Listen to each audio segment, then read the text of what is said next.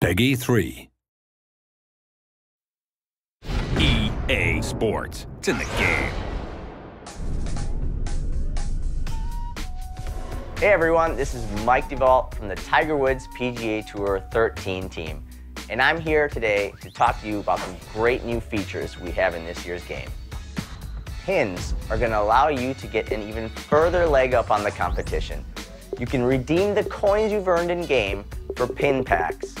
You can then equip these pins before you head into a round to help boost your abilities.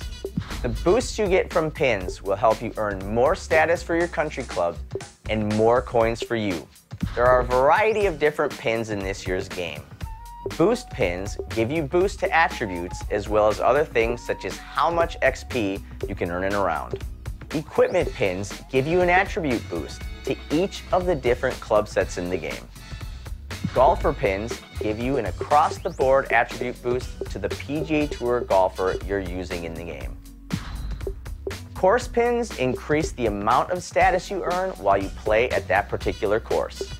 As an added bonus, once you collect all of the pins for a particular course, you'll unlock a course boost pin, which when applied, will give you an additional increase to each of your equipped pins.